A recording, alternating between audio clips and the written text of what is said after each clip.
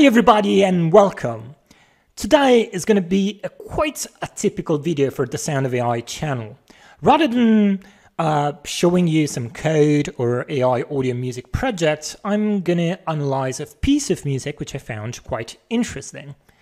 Of course, I'm going to also sprinkle in a little bit of music processing using Librosa to extract tempo curves, but that will come and it's going to be just a uh, kind of a tiny part of this video. I was listening to a bunch of songs from the Eurovision 2021 uh, contest, and I found one to be particularly interesting. Well, a disclaimer is due here. So, as some of you who've been following me, me for quite some time may know, I'm not really that much into pop music or rock music in general, hip hop, this kind of stuff. I have a background as a classical musician. That's what I love the most, along with contemporary music, jazz, a little bit of progressive rock, this kind of stuff. So Eurovision is not really my cup of tea. But nonetheless, I was listening to um, this year's uh, songs and I found one to be particularly interesting. The song that I want to talk about is called Shum by the Ukrainian band Go-A. The super cool thing about this song is that it managed to mix very nicely styles that are quite far apart. On the one end of the spectrum, we have techno electronic dance music. On the other side of the spectrum, we have folk Ukrainian traditional music. And the mashup of these two styles was quite interesting and fresh, and definitely something completely unique for Eurovision. Now, how did they manage to create this cool mashup? Well, uh, the main point here, I believe, is the use of Ukrainian instruments or instruments from the Ukrainian music tradition. One of these instruments is the sopilka, which is a sort of pipe instruments that is similar to a flute or a whistle. And then they also used another instrument, traditional instrument called the drymba. And this is a kind of uh, mouthpiece that they use to reinforce the, the song part. We'll hear all of these instruments when we'll review like the, the, the song uh, together. What about the structure of this song? Well, the structure is quite typical, I would say, for most of it. So it has a verse that repeats quite a lot, that leads into a chorus. A verse and chorus share more or less the same chord progression, so nothing fancy about that. But there are a couple of bits in the structure which are, are quite interesting. First of all, you have a break towards the beginning of the song, an instrumental break, and there you can definitely see the this kind of like folky vibes coming um, out very very strongly. And then towards the, the middle of the track, you middle or three fourths of the, the track, you have a sort of a bridge where the music completely slows down and then it builds up in a kind of folky way using this sort of a ritualistic formulaic uh, music patterns which repeat always the same but faster faster and faster. So yeah, these two elements, the initial short instrumental and this bridge building up are very interesting and injected into the song a lot of freshness and a lot of the, its musical folky vibe that it has. What about the chord progressions? Well, the chord progressions or the harmony is a relatively simple. So you have a simple chord progression that repeats more or less the same throughout uh, the song. And for those of you who are familiar with basic harmony, this is a one tonic that goes to uh, dominant, and we have six, uh, subdominant, three, and then a six grade uh, of the scale. So this is like quite uh, ordinary stuff. The one thing that is interesting about the, from a harmonic aspect, is that the, the music is in minor. So the, the song is fully in Aeolian mode or natural minor scale. This is something quite atypical, I would say, for a song that goes to Eurovision, because they usually always use um, major modes. But it's not that atypical for a uh, folk song because they use a lot of modes, and Aeolian is definitely one of those.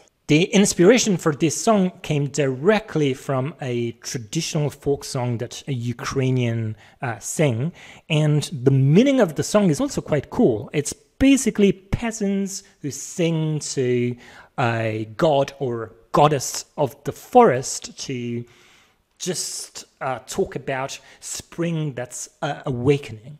And this is also quite cool theme that Go_A used, and they created this sort of analogy between spring and what's happening right now after, or well, we're still in the pandemic, but we're starting to see the light towards the end of the tunnel. So they created this cool analogy of life awakening uh, once again and us coming out of this very dark uh, moments that we lived through over the last year, year and a half. Above all, there's one aspect of this song which is fantastic and completely innovative. It's the clever usage of tempo. Now, what's tempo? Of course, most of you may already know this, but for the few of you who don't, tempo is just represents, indicates the speed and the pace of the music. What Go_A managed to do uh, with Shum is having tempo that modulates, a dynamic tempo that changes throughout the song. Now, this is something that is not done at all in techno music or in Eurodance or dance music, EDM music more in general.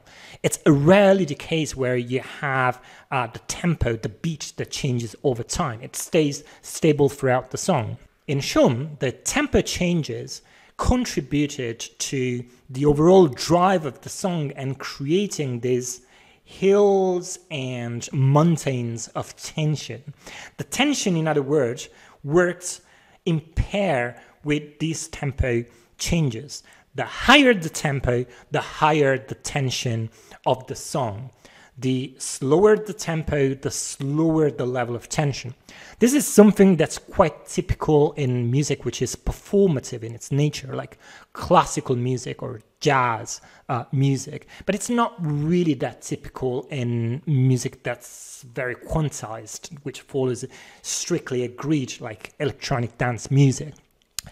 And at the same time, this sort of accelerandos, which is just uh, speeding up, and rallentandos, which is slowing down, are typical of folk music, which, of course, are a form of uh, performative music as well. So now, without any further ado, let's take a look at the tempo curve of Shum. In the process, let's also take a quick look at how we can extract the tempo curve for any song using Librosa. Here's a Jupyter notebook that I created to extract tempo from songs. For those of you who are not interested in coding, just skip ahead. But for those of you who are, just stick with me for a couple of minutes. So um, first thing, we import a Librosa and Matplotlib. So Librosa, I'm sure most of you will be familiar with it, but this is a package that does music processing in Python, and it allows us to extract all sorts of, um, I would say, audio features and music features. Then here what we do is we load uh, the song, uh, which I have stored as an MP3 file in the working directory, and the file name is shum mp3. Okay, here we, we extract both Y and SR. SR stands for the uh, sample rate, Y is just the time series that we loaded. Next, we extract tempo. And how do we do that? Well, with Librosa. So we do librosa.beat.tempo. This is a function where we pass the time series, the uh, mm, sampling rate. We say that we um, don't want to aggregate, and we pass the hop length. Okay, so here we have the tempo. Now, what next? Well, we should change, well, we, we want to get the x-axis of the graph that we'll have as seconds, not frames given tempo is an array where each index in that array is a frame, corresponds to a frame, what we want to do is pass from frames to time. And we can do that with a simple function that comes directly with librosa, and it's librosa.frames to time. Here we pass the number of frames, and then we pass also the hop length that we used. Okay, and finally, we use uh, matplotlib for uh, creating a graph of the tempo over time. So now on the x-axis we have um, time or the duration of the song and expressed in seconds. And as you can see, the song is just short of three minutes. On the y-axis, on the other hand, we have tempo. Now, what do we notice about this tempo curve is that, well, there's a lot of ups and downs, right? And you'll notice that here we're also going to have like, or we actually have quite a lot of artifacts. And that's because it's quite difficult for these algorithms to, to, to get this nuanced uh, up and down in terms of uh, tempo. And we'll just like take a look at that and see what works and what doesn't work with this algorithm while we listen to the, to the music. But one thing that I want to say is that this is a kind of um, tempo curve that it's could be at first sight typical of classical music or performative music, but not of techno music. Because as I said, for techno music, most of the time, just would have a horizontal line because you don't have any tempo changes. So now Let's listen to the music and uh, notice how the tempo changes and how it affects the perceptual uh, aspects of the music itself and how it affects the, the tension and the urgency of the music. Here we go.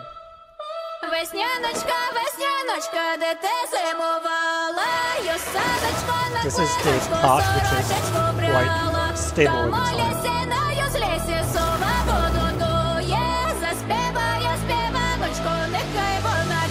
Here comes the beat.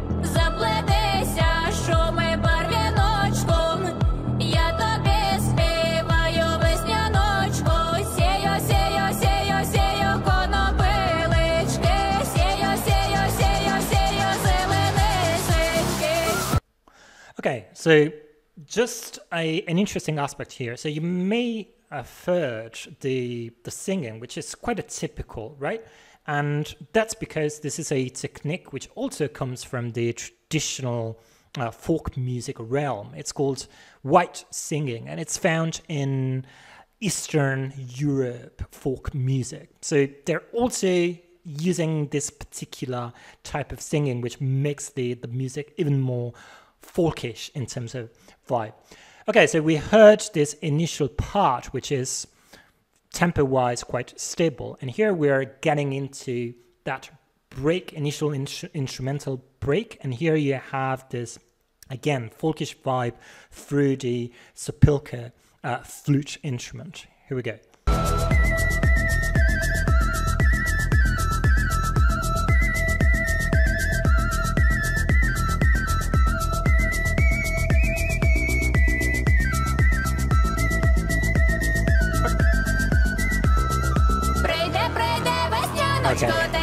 Here, tempo is getting up.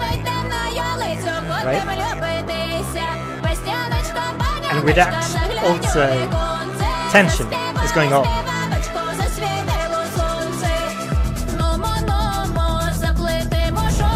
The instrumentation is also thicker, with the pitch which is thicker.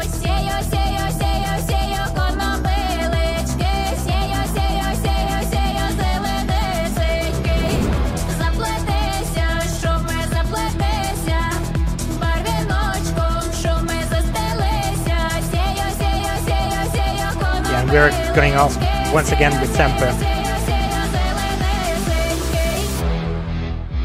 Okay, so here you get the first artifact. It goes up very much, too much in tempo, like the, this algorithm, but it's not 200, almost 200 in terms of BPM. So I guess like the, the algorithm got confused here because the bit is not there anymore and it's difficult like, to figure out what's going on. But then you have a drop in the BPM, which is quite dramatic, and that actually happens. Let's listen to this. Here we go. Okay, so this is the, the bridge or the second break, if you will, and you have this very folkish, very ritualistic type of music, which is always repeating the same pattern but gaining speed every time until you get to the apex or the climax there, and then everything explodes. the sopilka is back in creating this melodic pattern, right? That repeats.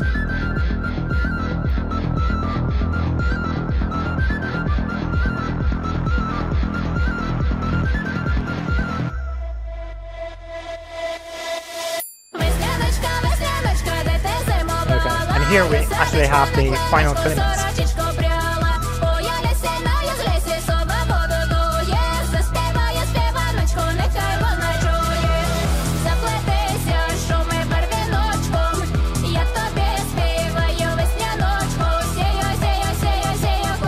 here tempo once again starts to getting up.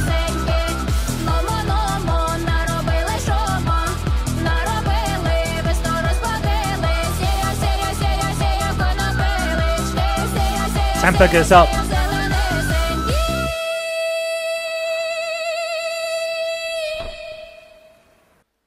The end of the song with this high note, it's possibly the climax of the whole track, which built up, built up, built up until it get there back to uh, the tonic back home with this high note.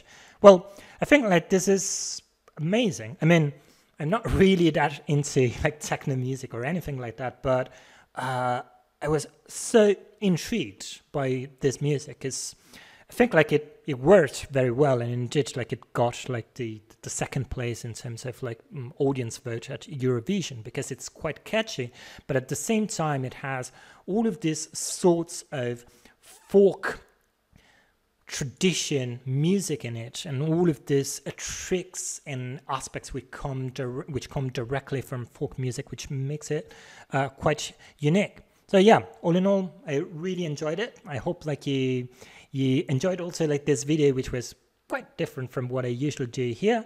And I'll see you next time. Take care.